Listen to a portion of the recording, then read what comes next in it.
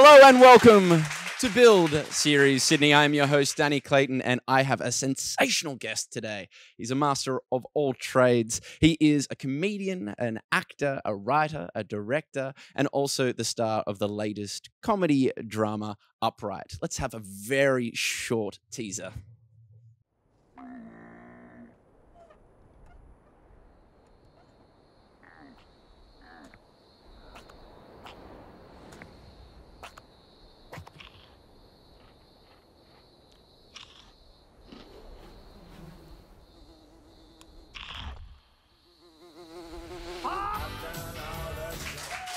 Please make him feel welcome. The poetic pianist, Tim Minchin. Very much.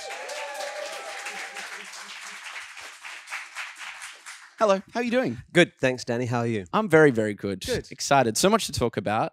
I mean, straight away off the bat, upright. It seems like you know a small love story to Australia, uh, shot across some very beautiful yet arid and, and brutal lo- locations around Australia. Uh, tell me, what was it like shooting across the Nullarbor?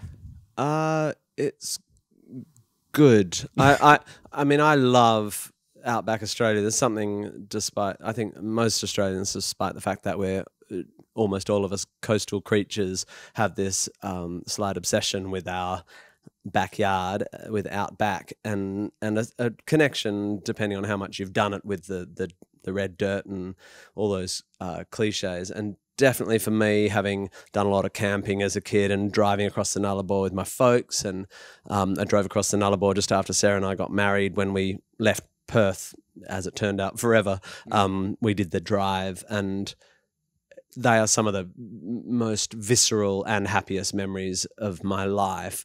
And so, writing this story, all, all of us who wrote it, Chris Taylor and Leon Ford and Kate Mulvany and I, have our own experiences with that, and we're trying to pour that into the show. Um, when you shoot, of course, you can't really shoot. I mean, you send a, a second unit out to get drone shots of the Bight and, and long shots of the car out in the Nullarbor, but you can't actually shoot on the Nullarbor because you can't afford to take electricity and water and uh, Mm. you know a hundred crew and you just can't do it. So you shoot. We we shot most of it in South Australia, um, and yet even though we weren't actually on the Nullarbor, you still you're still properly out in the middle of nowhere and uh, shooting outside places like Woomera and Quorn and. Uh, it, it, it is beautiful and you do these long long days where it's all cameras and shots and angles and lighting and frustration and all the stuff that comes with filming and then you sort of wrap and someone brings out a bunch of muffins and some coffee and you just sit and you just go oh shit look where we are you Mm. sort of have this moment and then sun goes down and you're just in Yeah. starville Yeah, I mean, there were some parts which were quite beautiful without even trying to be beautiful. Like, for example, there's a, a tree covered in, in thongs that have been nailed against it. There were there were blowflies, an army of blowflies, and like a, a back a pub in just in the middle of nowhere, and and it's kind of the stuff that makes me feel like I'm at home. Uh, why do you think the these imagery, which might not be so glamorous, still has such a strong hold on Australians? I think there's a cynical and a uncynical answer to that. I think we buy into our national identity in a kind of bullshit way. You know, oh yeah, we're Aussies and we're all larrikins and we, you know, we like thongs and the outback and pubs, and you're like. You're a hipster from Newtown, bro. You, you've, you, have you ever been out there? Have you ever met the people out there? You know, Mm. that's the cynical answer. The uncynical one is to the extent that national identity means anything, it means a connection with the sights and smells and atmosphere of your home. And this notion, this indigenous notion of country, which us white fellas can't access because we haven't Mm. been wandering around here for 60,000 years, whatever.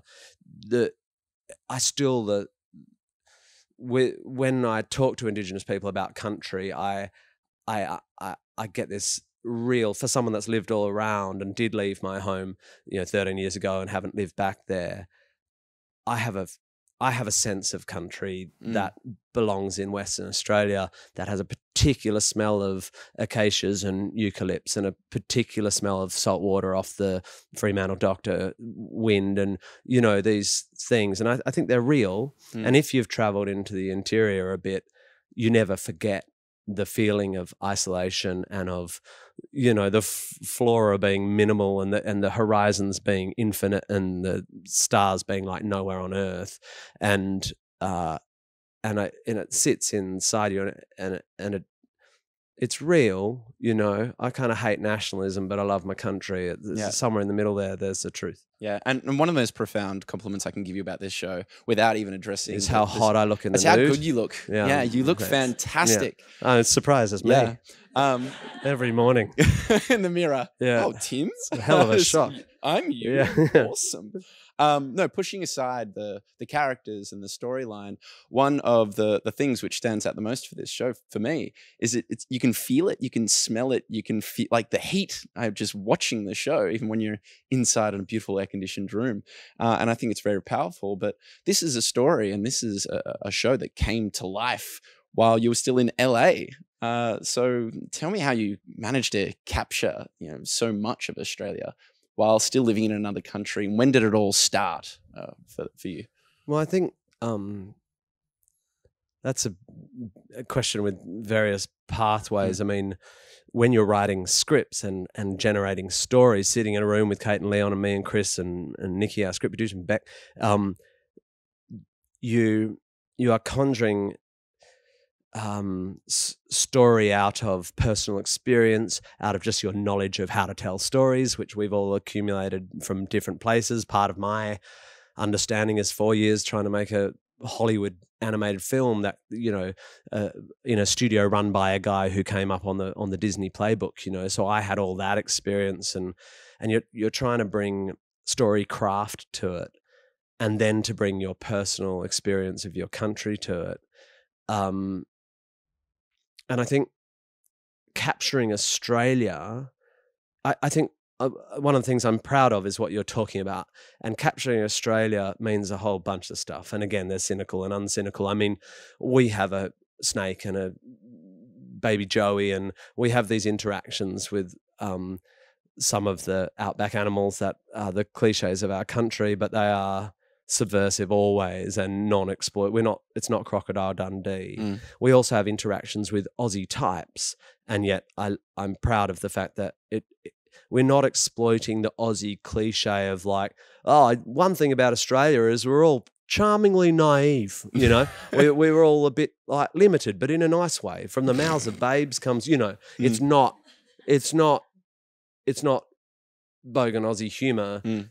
Um, and and by the way, that cultural sort of meme we have that came out of all those working dog films and Kath and Kim, and I mean, it's amazing comedy, but it's not.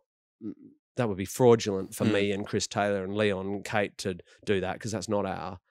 We're not working class Aussies. We're all, you know, went to uni for too long and mm. um, got, you know, wanked over philosophy and stuff. And so I'm trying to trying to bring uh, a, a, version of Australia that is authentic but not built on the cliches of our of Mick Dundee and beyond. Of course. Um, but the other incredibly important part of capturing Australia. The, you said the visceral sense of the heat and the space and the flyers is all about Katie Milwright, is about the DOP.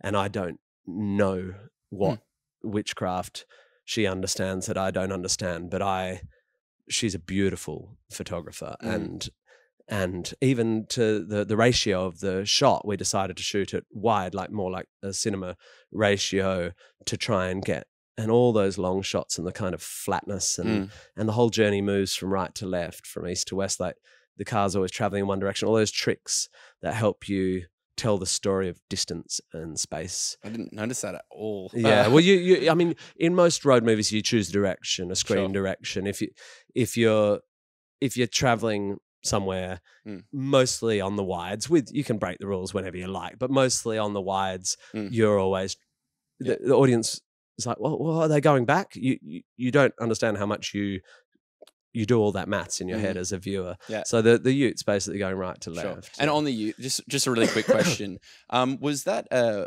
Buckethead, uh, Mr. Hemorrhage from the Rick and Morty TV shows on the front, I don't know. or is it a Ned Kelly reference? It's a Ned Kelly reference, and it was Matt Saville, the director's idea. Mm. And he went to the art director and went, "I reckon he should have like a Ned Kelly doll." Mm. And uh, it's such a beautiful thing because then, when we got to Ep Five, um, that doll comes to signify something, Mm. a, a memory of spoilers. something. Yeah, Okay. and so you, so you. And, and that is what I love in telly and in storytelling, and what I I think Upright is soaked in Mm. is if you uh, watch all eight episodes and then go back and start again, you'll see a whole lot of clues because the whole thing's a mystery. Mm. Who are these people? Why? Why? Why is Yep. this guy trying to cross the country with a piano? Why is that kid out there? Yep. And we trust the audience will just stick with us because the characters are cool. Sure. And you think, how are they going to get along? Yeah. We don't give the audience much information about their mission, about their want in the Disney Mm. terms, which is unconventional, Sure. n- not unheard of, but quite unconventional. And you don't actually find out everything you need to know until the final episode. Sure. And that is what Upright is. It's a road movie and a journey of discovery and a journey into the dark heart of their soul and, you know, Sure. blah, blah, blah. Can we talk about Lucky for a second? Yeah. Because you know, I've, No, I'm hold on. gonna pull you up. yeah, yeah. I mean, Lucky, he seems to be, uh, when we initially meet him, he's like the, from our first glance, he's like this washed up cocktail pianist, you know, he's Yeah. a band guy. And, you know, where he's we're conflicted. Do we know if we should like him? He, it, very early on, he is set to make a huge betrayal and we don't know how we feel about him. But, you know, when we look at you as a, a person, you're someone who has, you know, graced the stages, playing piano and performing in front of people. How much of, you know, Lucky uh, is is from you and and where else the other parts where else did you find lucky Well, you know, Chris Taylor, this is his idea. The seed of all this is Chris's. And Leon and Kate were on board before I came on board. So um, when I got the pitch document, it was like this, you know, 40 ish guy who's kind of not made it. And he's, uh, I, I can't quite remember what his story was, but um, it didn't have an ending. It didn't really have a reason. It, it- we didn't know much about him when I got the document, and so when I came on board and and said, "Yeah, I, I want to do it, but I want to write," um, and everyone, "Okay," um, I brought a whole lot of stuff to him, and I think what I brought to him is, firstly, I exploited my Perth upbringing, my family, my relationship with my brother, playing music in pubs. Um, I brought all that detail. did you want to get dan to play your brother like did your actual brother to play your brother in the show at Um, any point Uh, I Dan, Dan used to act a bit, um, but I don't think he's up to it. Um, uh, and I'm not Wow. sure. I'm not Hi, sure Dan. Foxtel. I'm not sure Foxtel and Sky would have uh, put the put their dollars down on old Minch. Um, you know, obviously, when you get these things, the, the the people paying for it want you to populate it with actors of profile and of um, repute but Dan is in it. Oh. Uh, and you have already seen him. Uh, he, in a flashback right back to the 80s, he plays Lucky's dad. You're kidding Very, very brief. You only see him very briefly and you hear him yelling at Toby. Um, yeah, so I flew him to Adelaide. I always try and get down, and you know, I get him up on stage every now and then. He played with me at the Sydney Opera House a few years ago.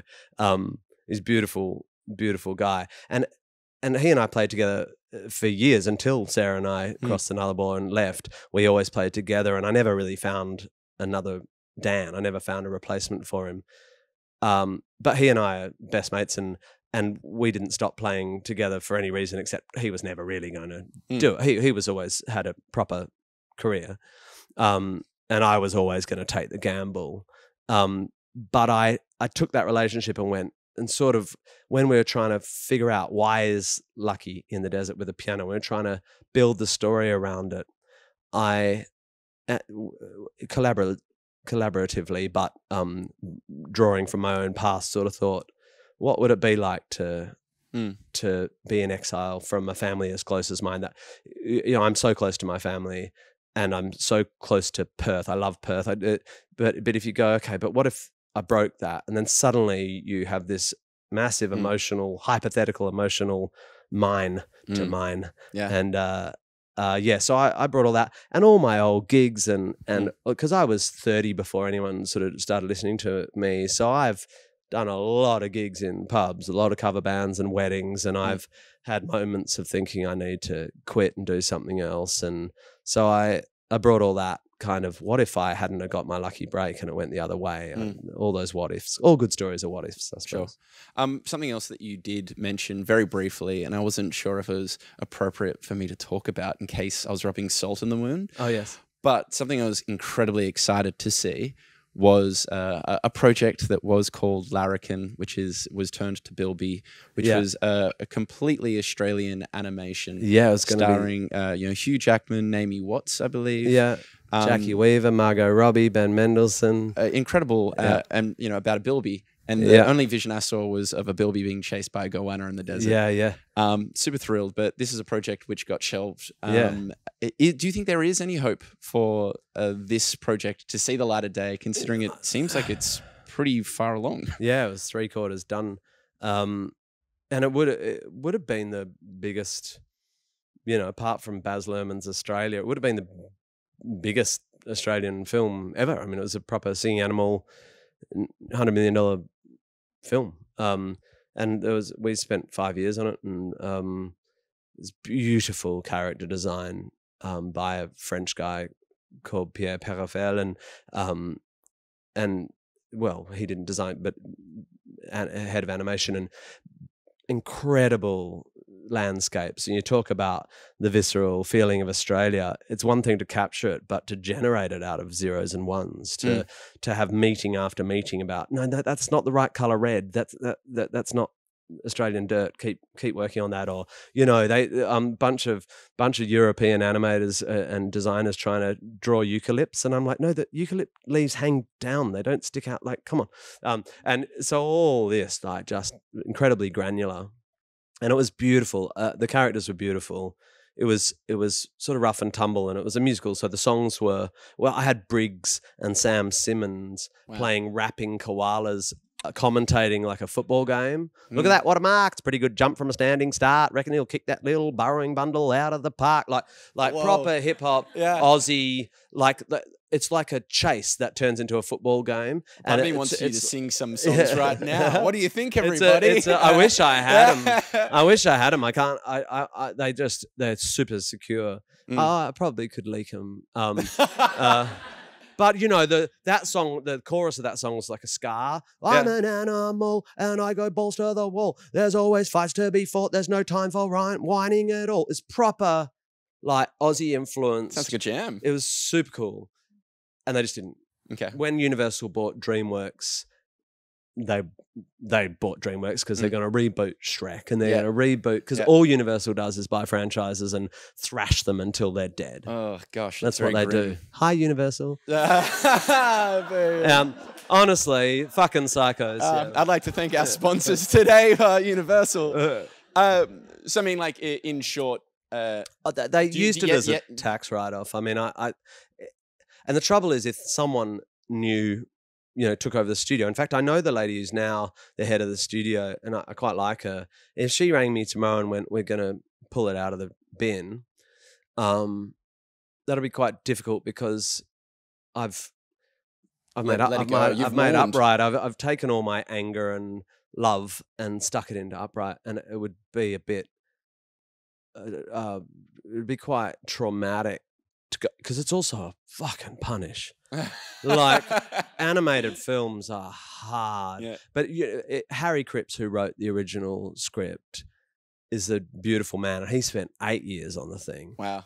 And for him, I would go back. Oof. But what I would love to do is, if it came out of the bin, put someone else on it. I'll be an executive producer, keep an eye on it. I can't go back to full time. Okay. That'd be the wrong move. That, that is very, very heartbreaking. But, yeah, yeah. Uh, let's move on to something a little bit more positive. Cause, yeah, uh, sure. I mean, something that I've Cancer. seen. Cancer? Uh, I've got this tumor.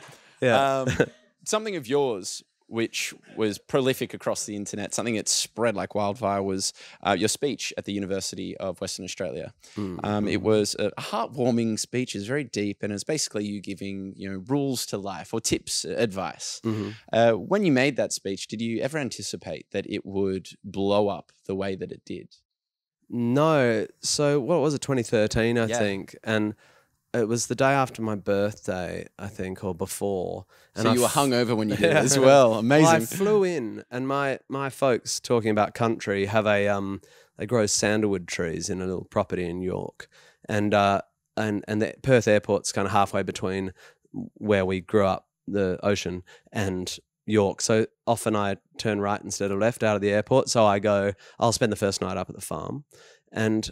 Um, I went to the farm and Dad was there by himself. Mum wasn't there, and Dad and I just I just spent two days up there, and I was writing this speech, and dad read it and went, I wish you wouldn't swear. And so I took the swear words out and um but that was it. Like day and a half. Just slammed it down. I thought, oh god, it's pretty pretentious as a 38 year old or whatever I was, um, like giving life lessons. But at the same time, when you're graduating uni and some hairy guy that you've seen off the telly comes and he's 38, that that's 20 years Hmm. of experience. And my job, I thought if I'm gonna do it, I'll do the wear sunscreen version of it. Like if I'm going to do it, if I'm going to wear a floppy hat, I'll go high status and just give advice. And um, in fact, it's a hard hat, floppy gown. Mm. Um, Which you took off before yeah, you made so the speech. Yeah, I know. My hair was so to- dirty, and they to get shot your hair my- out. Yeah, yeah. Um, uh, I I think it, it's the the most viewed thing I've created in my life, Mm.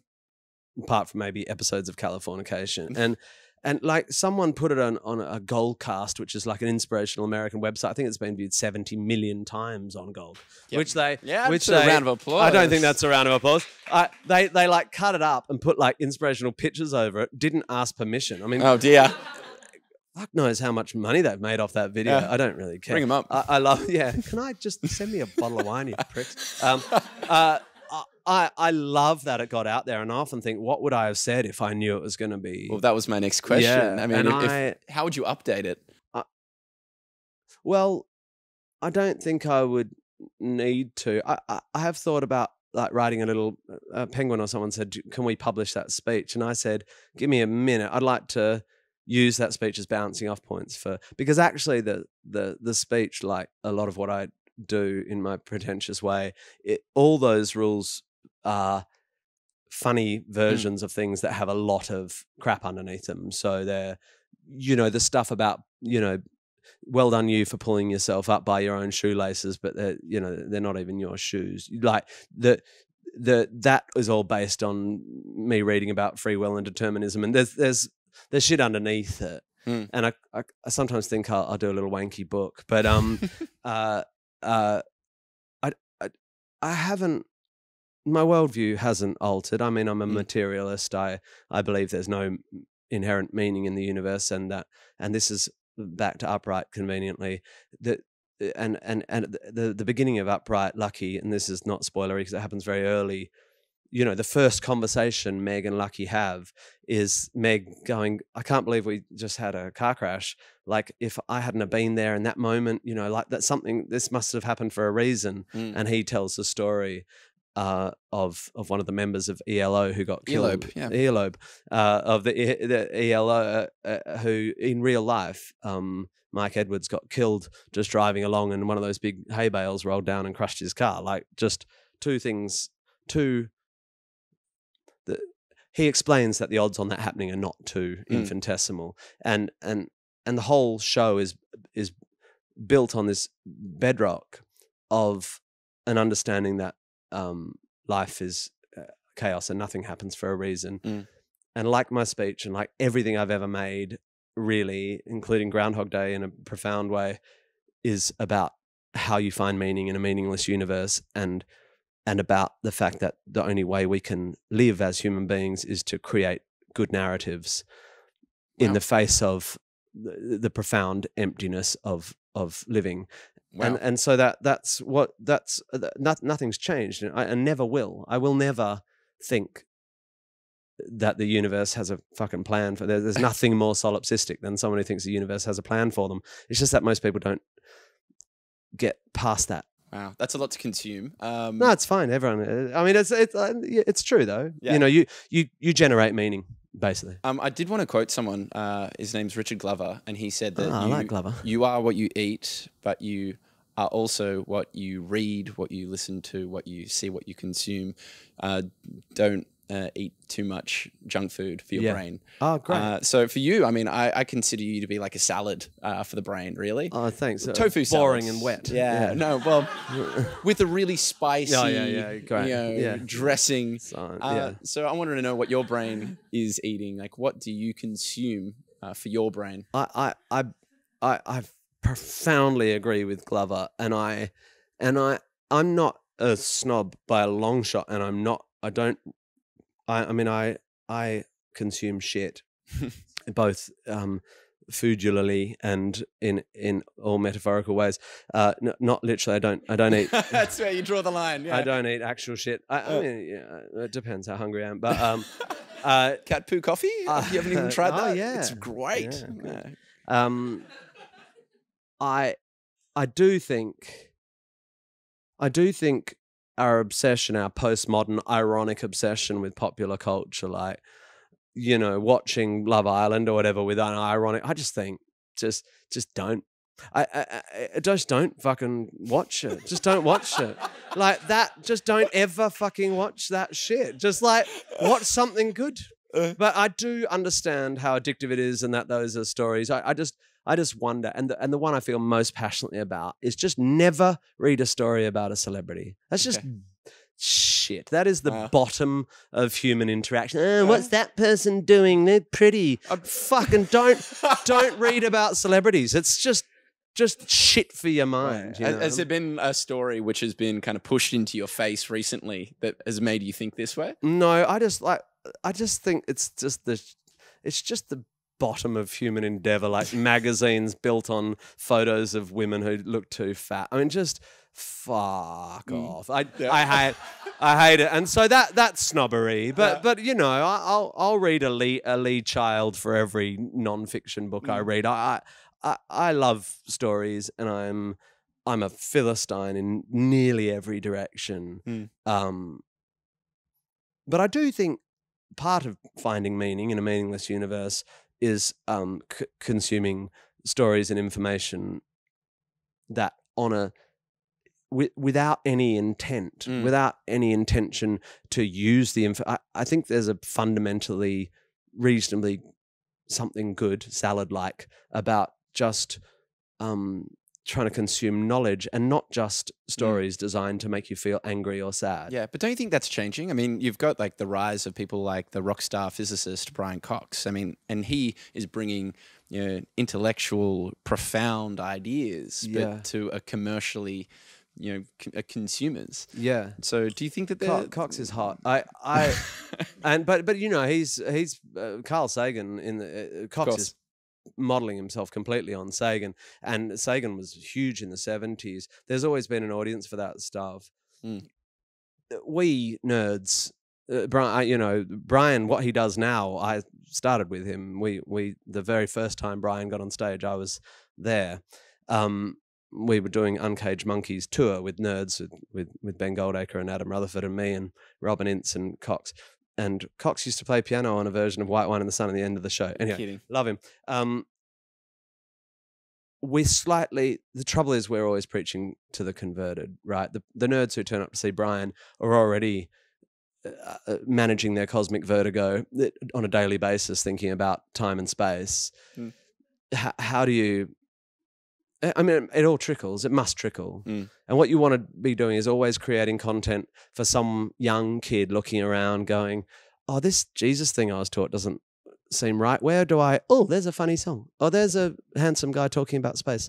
You just need to make sure there's always a rung to grab onto for people whose interest is piqued. Mm, fantastic. Okay, so well, we have been getting a lot of questions Oh, coming shit, yeah. in through people who are how, watching. how long? I'm sorry. Okay, I'll start shortening my answers. uh, that's I'm okay. going to start Uh, yeah, just one word answers. Yeah, sure. Uh, Miles. my favorite color Uh, is smeg. look, we, we spoke about this. You're, you're churning through our time here. Uh, give you a smack. Uh, given you're a writer, actor, musician, and many more amazing titles, what advice would you give uh, for any artist with a love for their craft coming through the ranks today? Um, I, it's. I don't think there's any great advice. I mean, everything I said in my speech is kind of wraps it up. Y- unfortunately,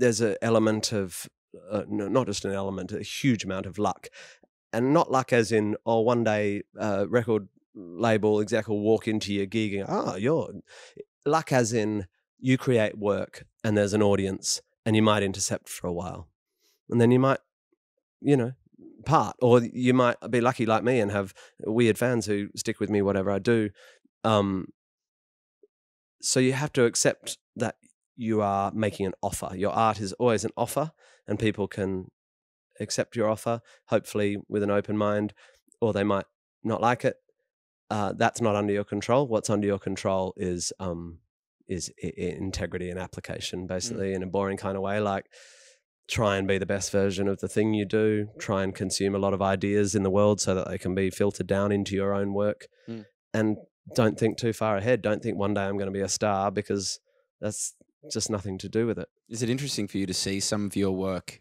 that has had an effect far ahead. I mean, you brought out that incredible uh, song about canvas bags at supermarkets yeah. in what 2005. Yeah, yeah. And now we've banned the the plastic bag yeah, in like 2018. That, yeah. So that that was you, all um, you. Uh, yeah. Uh, that was a song taking the piss out of uh, people who think that songs can change the world. That's the beautiful irony that that song eats itself. Um, it, it is it is amazing and something I have to reflect on and not take for granted because I'm always thinking about the next thing. Um, uh, Matilda being the main mm. thing, mm. that the longevity of that show and the impact it has. So I don't know, maybe a million kids have seen that show, mm. and for three quarters of a million of them might have been their first big show, mm. and the first show they saw has a little super feminist six year old singing about rebellion and and uh, intelligent rebellion about how mm. important and how books are you can emancipate yourself through ideas that that that stories are your gateway to freedom all that i i am deeply uh, proud's not quite the word grateful mm. that i wrote this thing yeah. that gets to it it, it, it influence the future. Yeah, it's it's amazing, and it's so nice for me, given I've said some pretty fucking dumb shit that that I I am probably going to be remembered for Matilda, which is okay. nice. Um, in one sentence, yes, uh, I mean because Roald Dahl died five years before you were even born. Yeah. Uh, what do you think he would have said? That's not quite right. Do you really? No, he died in '89 or something. So I was a teenager. Yeah. Okay, so you were a teenager. Yeah. Uh, what do you think he would have said in a sentence uh, if he watched your Matilda? He would have said, "Oh, it's nonsense." He's a pretty grumpy dude, and he hated guys with beards. oh dear. Um, okay, your another question coming in. Uh, you're bringing back your show back. Uh, yeah, back to Australia. What can we expect from this show? What? what oh, same as last time. I mean, it's very much an encore of what I did earlier this year, and it's called Old Songs, New Songs, Fuck You Songs because I hadn't toured for so long, and I just wanted to sort of do new versions of old stuff. And there's there's new stuff. I'm putting out an album th- this next year, and um, there's a bit of stuff from that. I I haven't really written comedy songs since 2011, and I don't think mm. I'm. It's never been. You know, I really was only a comedian for five years, and I'm hashtag blessed. What a five years though. Yeah, big five years. Yeah. I mean, it it got there, and then I concentrated on other stuff, and I I'm the tour, I've just got back from the UK yesterday. The tour has just been such a joy and so great to be back on stage and go, oh, this is actually what I'm good at. This thing where I just talk to people and play piano. I, I sort of forgot, you know. Mm. And I think because it happened so quickly and suddenly I was playing arenas and stuff, I sort of just went, oh, people like that. Good. Okay, I've done that. Move on. And now with a few years space and being back on stage, I think I respect how lucky I am and what an amazing thing it is to have an audience who are willing to come and watch you rabbit on and put too many rhymes in oh, short space of time. Um, okay, so we've still got a few more to get through. Uh, love your role on Californication. Someone has written uh, as the washed-up, frequently nude rocker Atticus. What was the what was fun uh, to play, uh, and did did it come naturally? Yeah, uh, I mean, I thought they had written the role for me, but they'd never heard, they'd never heard of me. I just went and auditioned, and I still had my makeup on from the last night, and I was dressed like I dressed, and they were like, "Hey, what's your name?" And I'm like, "I'm Tim Minchin." They're like, "I did the scene once," and they went, "Great, do you want to do it again?" And I went, "No, I think that's it." Hmm. And they went, okay. And I walked out and I, I'm driving down the road in a hired Mustang. And it's just one of those LA stories. My agent rings and goes, What did you do? And I'm like, Oh, I was just put on a slight English accent and acted like I was on drugs. And he went, he went, they want you back for a wardrobe fitting, and that Wow. uh, he was in for two episodes, and they wrote the whole thing, so I stayed in the whole season. Mm. Um, I he mean, was so much fun. it did look fun, and it also it, I love being naked. It, it put. I mean, like you were you're amongst such talent. Yeah. Uh, I mean, Marilyn Manson was on that show. Yeah, I mean that's a version of talent. Yeah. Uh, I mean, why do you have thoughts about Marilyn Manson? no, no, it was pretty hilarious having him on the show. I mean, Yeah. he, he's a very talented musician. He's an interesting actor. But yeah, no, he's he's great. And Duchovny was great. And I, I've become lifelong friends with Natascha McElhone, the world's most beautiful, intelligent woman. And um, yeah, Mm. just gorgeous. And the and the DOP and the whole. You know, sometimes in America, you walk into a show like that, and it's especially in season six, it can have gone a bit poisonous, and everyone's just gritting their teeth. But Mm. this was a beautiful community of people. Yeah. You make me really want to pull on that thread, that Marilyn Manson thread. Ah, right, yeah. I don't. You'll I- wash on it, but I- we'll go somewhere I, I saw him in a pub in Sydney a few years ago, off his. You know, he he needs to, Allegedly. he he he needs to look after himself a bit better. But um, he's an incredible. What he did, I mean that. Before he was like the last music billionaire before digital started fucking with everyone. He- Damn yeah, Napster. Yeah, totally Damn Napster. you. Yeah. Um, a lot of questions coming in about Millie Alcock. Um, of course, your co- Alcock. Alcock, Mhm. uh, your co-star in Upright. Yeah. she. I mean, from the moment she hits the screen, she Yeah. sensational. She Yeah. is this pugnacious, fiery wildcat who is so annoying yet you love her. Yeah. Um, what was she like? What was? Uh, I, I. I, I love her. I mean, I, I can't, it's hard to do a short answer about Millie, but we, we did write an impossible role. We, we wrote a role for a 16 year old, you know, if you believe her, kid who had to be funny and gutsy and, and sweary and be able to completely undo herself and be vulnerable. And I mean, I sort of went, what have we done? We're not going to be able to find this kid. Mm. And then we found her. I thought, I think she can do it. And then she, she, she, she's so much better than we realized even after giving her the role. Mm. And she's an awesome human.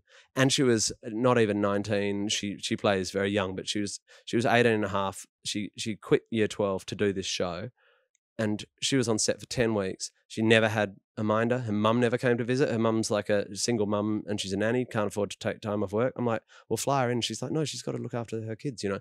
so she, she- was the character. She, she, she, you know, she's had an interesting life. It's not mine to tell. She'll, she'll tell you herself. But, um, but she's so mature. She, in a way, and we, I just left her alone because I'm literally sitting in a Ute with an 18 year old girl hour, who I didn't know very well, hour after hour, and I'm like, okay, my job is to let her set all the boundaries of our relationship. I didn't, you know, there's no high fives or hugs or anything. I'm just like, well, I'll just let her come to me and uh, ask me questions. I kind of co-directed some of it, and and and just as the characters got closer and closer, Mill and I got close. I mean, I I I love her. I mean, Mm. I I we talk and we were together last night at the actors, and she's an incredible girl.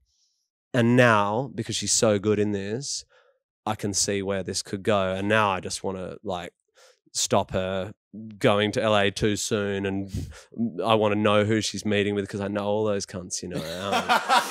Uh, Uh, I'd like to congratulate you. You're the first person to drop the C bomb Yeah. on build. Thank you very much. Uh, Can we get him an award? Yeah, uh, yeah, please. yeah. Um, I'll ask one last Q and A, uh, and that is: when you come back to Australia, what do you think about our government and the lack of priority for our environment and climate change? A pretty heavy question for a Q and A, but please, uh, your thoughts. I think if any leader on the planet is not basically making uh, carbon the center of their platform, you're just a a, a fool. I, but I, I I don't think I have a huge problem with how uh, I talk about a lot in my live show with how divisive we're being, by how tribal we're being, by all the false dichotomies. I have intelligent, progressive friends who constantly are just shouting, like posting what Israel Folau said. Like, just we we need to stop being uh, assuming evil intent in anyone we disagree with. We, we it is human to assume nefarious intent in people we disagree with, and the internet just magnifies that massively. I don't think Scott Morrison's a bad person. I Mm. think he's been miseducated. I think uh, church is bad for your brain. I think, especially his church, it's just if every hour he'd spent in that church, he'd instead spent reading real books about real stuff, he would be a much, much better man. Turn to science. Yeah, he he needs to. He he, he it, it, you're allowed to believe what you want, but if you're going to be the prime minister of a largely secular country, I, I want to know exactly what he fucking believes. Mm. I, I I don't think him saying that's my private life is good enough. If you think Jesus was magic, how are you going to interpret climate da- data? Mm, I mean, you can't. You can't. You're allowed to believe Jesus is magic, but don't come to me about climate data. yeah. You're you're playing in a different fucking sandpit, bro. uh, it's it's terrible. Yeah. And that the the right, you know. So I I'm nervous, but I I, I don't. You've got to be careful because if we keep screaming that Scott Morrison's evil, the next thing that happens is you get a Donald Trump, Yeah. and then you'll be like, oh, I wish we had. I mean, p- literally, you wish you had Howard back. Uh. that motherfucker. You know, you, Mm. I do. I wish we had Howard back. So, so we've got to be careful about how, Yeah. uh, how much we we assume everyone who doesn't think what we think is evil. But yeah, Australia should be a world leader in in. We are rich beyond our wildest dreams through no fault of our own because we dig up primary resources out of land that isn't ours. We should be humble and be trying to be a world leader leveraging our wealth into into into renewable tech that, I, i'd be so proud hmm. But I'm hearing what you're saying, and I, I 100% agree with you. But we're going into that time of the year where, oh God, I'm going to be surrounded by people that disagree with me and they don't believe in just shout climate change. it works if, we, if we can't shout, no wait, wait, what can we do? I, I, it's, it's Christmas. We're going to be hanging out with family who think that it's all a myth. I mean, what do we even say? This is a genuine question from my own. I sort of do we- feel What do like- I say? I mean, I can Hi, be Mum. quite smug and passive aggressive, as you can imagine. But I mean, my my dad, because he reads the West Australian, he's a highly intelligent, very scientifically literate Doctor. surgeon. Yeah. Yeah. But he was like, mm, and he he needs data. He's like, I'm not convinced. And I went, well, what what p value do you want? Like you you should be, and and he is now. Um, but th- there's absolutely no doubt whatsoever that the broad stroke hypothesis of anthropogenic climate change is true and becoming truer, and if anything, Mm. uh, underestimated the impact. There's it's it's a, a fact, Mm. and and I think what you just have to say is, um, I totally get that whatever you're reading makes it not look like a fact, but it, it's actually a fact, and we can argue about it, but um, it's not up to us to argue about. You just ask the scientists, and they'll Mm. tell you it's a fact. Mm. I, I know Brian Cox personally and Richard Dawkins and geneticists and I, I, I these are uh, I've never met a scientist whether they're a celebrity scientist or a person working in a lab at a university I've not met one who doesn't go yeah it's it's just there it's just there in the data like there's not they're not there There- there's virtually none. Hmm so why would you go? That scientist says it's a myth. Well if you believe scientists what what from what here's a question. If you are pointing to any scientist saying it's not true Who's then you them? then you are respecting the authority of scientists. What about you makes you choose the minority? Okay. i mean and your mum will go why are you ruining christmas and you'll say you'll say because you're not my real mother All right. Well, I mean, let's step away into something a little bit nicer. Let's talk about Christmas. i Uh, like christmas I know you like Christmas. Yeah. Uh, funnily enough, uh, you remind me of Christmas. ah Uh, and I, and You mean I'm sweaty and full of prawns? full of glee. Uh, there is one song that my housemate plays uh, on the piano for me every time I spend time with him over Christmas, and that is you know drinking wine in the sun. You know, uh, white wine in the sun is the Australian Christmas carol, uh, yet so much deeper than Jingle Bells. It's like, you know, Jingle Bell's an allegory, man. okay, it's it's metaphorical. Yeah, it's totally. Um, The bells are. Yeah, I wanted to get your thoughts on on, Christmas. Are you still fond of Christmas? Is, is Yeah, Christmas a good time for Tim? It is. And uh, I've I've just started playing White Wine. So I was in the UK touring, and just the last week of the tour, I started. I dropped White Wine into the um, encore. And it's interesting. The Poms love that song, even though it seems weird to them. But the um, I, I wrote that song two weeks after my daughter was born. So um, you know, this weekend, thirteen years ago, Mm. and I missed Violet's thirteenth birthday, which was last weekend, because I was away and I'd been away for two months. So I was playing that song. I played it on her birthday, and I got one of my bandmates to hold the phone up, Mm. the FaceTime up, so she could see me playing it in front of like three thousand Because of course it's a song about uh, yeah, to your, it- to your daughter. It, it it starts as a song about. The interesting thing about the song is it starts as a song about how I'm cynical about Christmas and because I'm not religious and all that. And then it becomes about family, and everyone goes, "Oh, it's actually about family," despite the fact that he's not into Jesus and stuff. And you think you know the the emotional borders of the song, and then it goes, "You, my baby girl," and it goes, and everyone goes, "Oh, it's about a baby," and they start getting teary. And I can't get through. I find it hard to get through. Having missed Fire's birthday, and Mm. I, it, it, it's still, it's still the song in my entire, the piece of work in my entire life that I found emotionally most difficult to write, Mm. like sobbing mess in my attic in London 13 years ago, and still resonates for me. When you've played songs hundreds of times, you it's an acting job telling the truth. Uh, with that song, it always Mm. it, it always works. I'm I'm proud of that song. It's good. Yeah. It's too long, and it's like my answers I, I would even say it's and my it- penis. I'd say that's uh, you, you had to spoil that really beautiful moment we just had there. I think I deliberately really spoiled it because I, I said proud, and Mm, it when you brought up like me, if you say you're proud, you have to then make yourself feel like a fool. okay, Mm.